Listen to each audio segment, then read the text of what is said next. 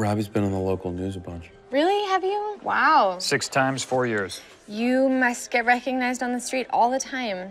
Some people think it's like excessive, but I, I'm kind of like, uh, I don't know, could do better. Mm-hmm.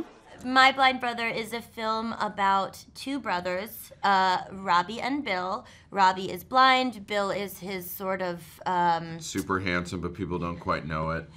Brother. underappreciated uh, workout buddy slash uh, I don't know, you know. He's like his companion. guide. He's just like, uh, yes, you, neither of us have the synopsis. no, down. not at all. Um, Um, I had a really good time last night. So can I call you sometime? I don't think that's a great idea.